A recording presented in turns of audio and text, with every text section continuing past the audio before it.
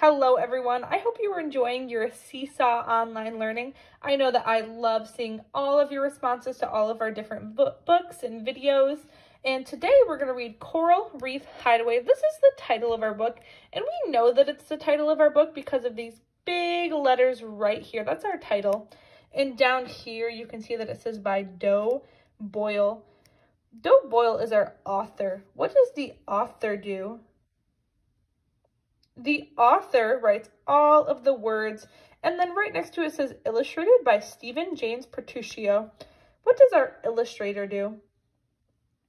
The illustrator draws all of the pictures. And what is this part of our book called over here?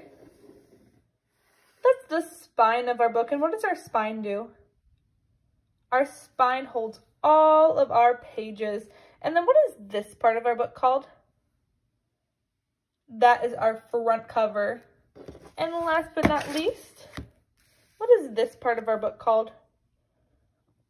That is our back cover. I see a clownfish on our back cover. And I also see a clownfish. I see one, two clownfish on our front cover.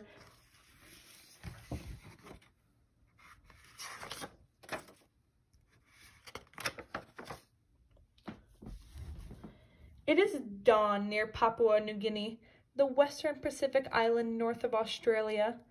The first rays of sun strike the lagoon, and the barrier reef beneath the surface floods with light.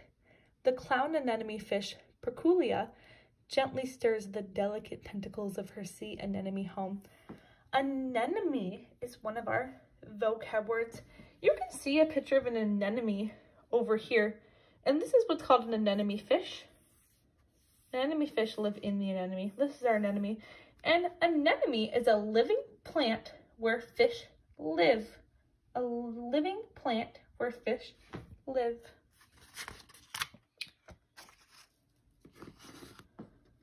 Living in the shelter of its twisting arms, Perculia is unharmed by the stinging cells on each tentacle. She is protected by a slimy coating that covers her mouth to tail her anemones would not so easily escape the sting of the anemone. Perculia is safe in her hideaway.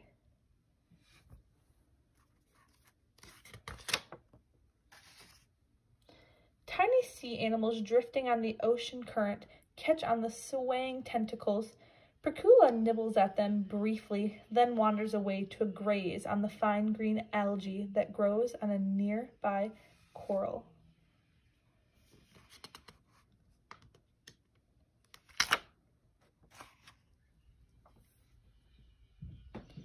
Pair of butterfly fish race by Perculia. They too are protected from the anemone's darts. With Perculia gone, the fish rush to eat her anemone's tender purple tips. Fiercely, Perculia charges the butterfly fish. With a swish of their fins, they escape her attack. That's her home. Perculia lives in this anemone, and these butterfly fish were trying to eat her home so she scared them away.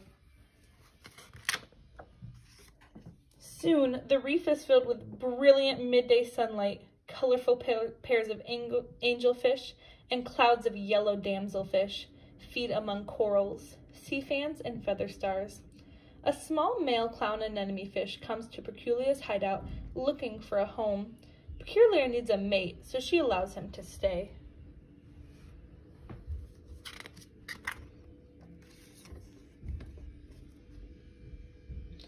One day, Peculiar's mate begins to prepare a nest. Choosing a rock tucked at the anemone's base, he clears away algae and grit with his mouth. He is not the only creature cleaning today. Close by, a coral grouper hangs the motionless hangs motionless near an elephant ear sponge. Small fish called cleaner wrassers swim around them. They feed on his dead skin and tiny crust crustaceans attached to his scales. Like dentists, the wrasses also clean his teeth and gills. Peculiar's mate must be careful. He watches the wrasses while he cleans the rock. If they get the chance, some wrasses will eat the anemone fish eggs while they are laid.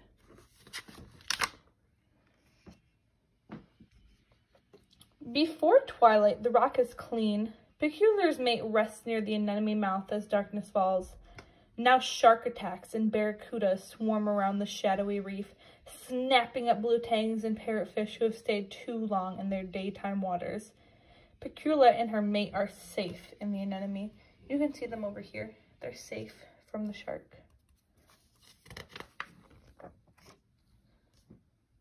As the nearly full moon rises over the lagoon, lagoon is one of our vocab words. Lagoon is a large body of seawater where plants and sea animals live in a coral reef. So you can see the coral reef down here, and you can see all the animals that live in it. And then up here, you can see the beach. And this water, this is the lagoon. It's all the lagoon. All these things live in the lagoon. As the nearly full moon rises over the lagoon, the reef's night creatures emerge like thousands of miniature stars. The coral itself blooms. Squirrelfish and soldierfish leave the sheltered crevices and hunt along the bottom for worms and crabs. In the moonlight, Peculiar's mate swims rapidly up and down like a horse on a carousel. He chases and nibs at Pecula.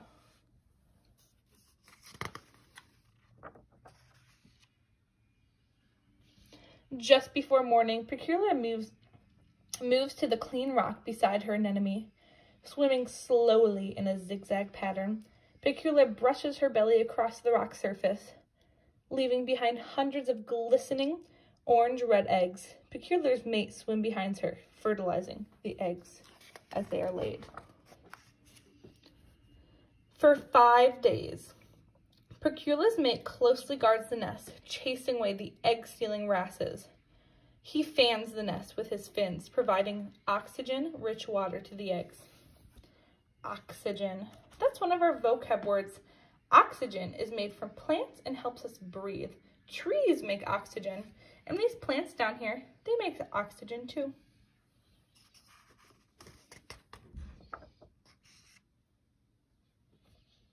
On the morning of the sixth day, Peculiar awakens, awakens to the sound of rainfall. The nearby island is lush and green because of the rains, but today the rain pelts too hard. The island's river overflows their banks. Mud fills the rushing water. Peculiar hurries to her mate as the rain drums the sea above her. She needs to help him guard their precious eggs. The rain continues. The muddy rivers race down the mountainside. Soon the water of the reef is blurred with fine brown silt. The silt can choke the coral and kill Peculiar's egg. Peculiar and her mate frantically fan their eggs and keep them clean. They pluck away bits of plants swept, slept, swept along by the murky water. Murky. Murky is another one of her vocab words. Murky is when water is dirty and you can't see anything in it. Dirty water is also called murky water. So you can see this water. It's very murky. Where else might you find murky water? I know there's a pond by my house, and the water in there is pretty dirty. It's murky. Through the cloud of silt, the wrasses appear, looking for unguarded nests. Behind them, a pair of butterfly fish search for anemones without anemone fish. They seem to know the silt drives some fish away from their homes. Peculiar and her mate do not leave their nest. Peculiar darts wildly, clicking out a loud warning call to the wrasses and butterfly fish. The startled fish speed away, and Peculiar and her mate wait for the tide to clear. The cloudy water. Cloudy water is another name for murky water.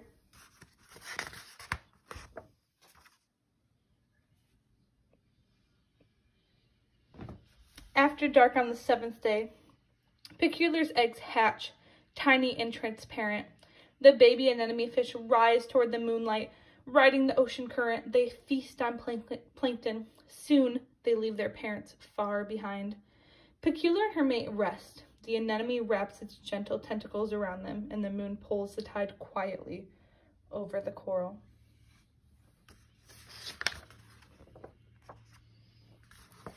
Okay.